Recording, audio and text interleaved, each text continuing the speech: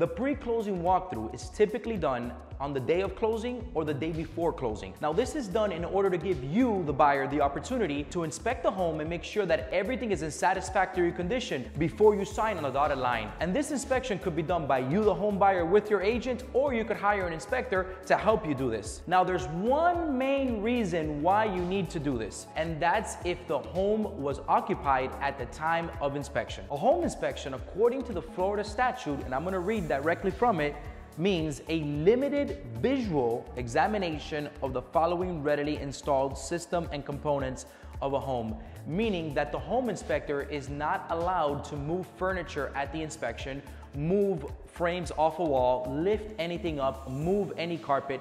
The home inspector could only inspect what is visible and readily accessible.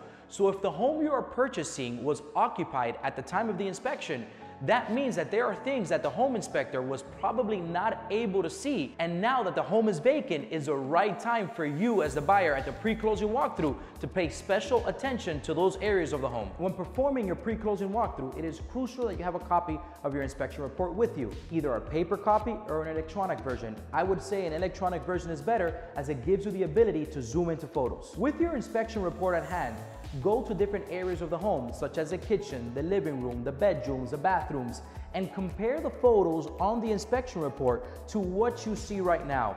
Another great tip is look at areas that had large furniture in place that could have obstructed items from the inspector's eyes and make sure that there's nothing there that's alarming at the moment. Remember, this is your last opportunity to negotiate or know what the home has before you sign on the dotted line.